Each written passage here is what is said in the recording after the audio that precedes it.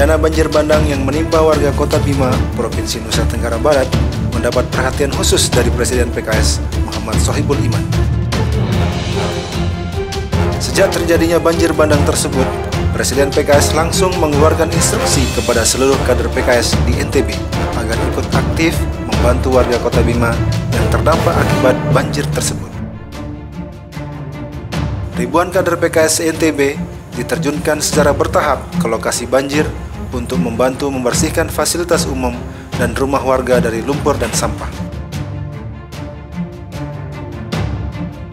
Sohibul Iman juga ikut terjun secara langsung ke lokasi banjir bandang Kota Bima.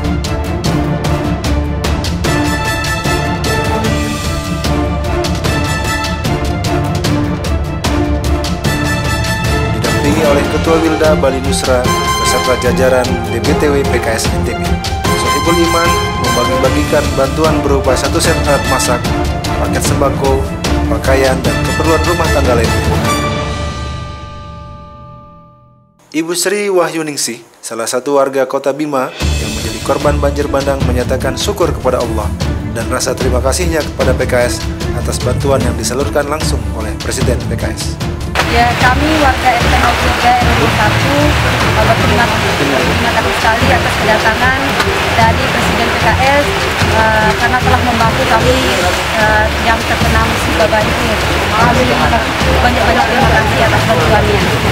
Alhamdulillah kita terima kasih banyak walaupun uh, ini sudah luar biasa ini kami terima kasih sekali kepada uh, PKS. Ya, ini sangat bermanfaat sekali bagi kami karena kami tidak bisa memasak kalau nggak tidak ada penghasilannya kita sudah basah semua. Ya betul, betul. Ya.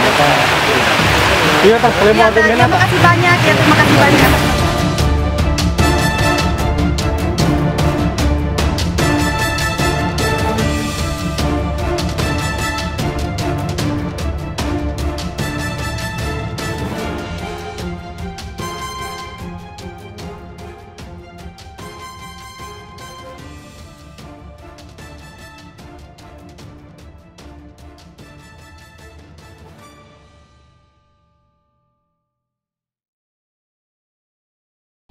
Klik like, share, dan jangan lupa subscribe.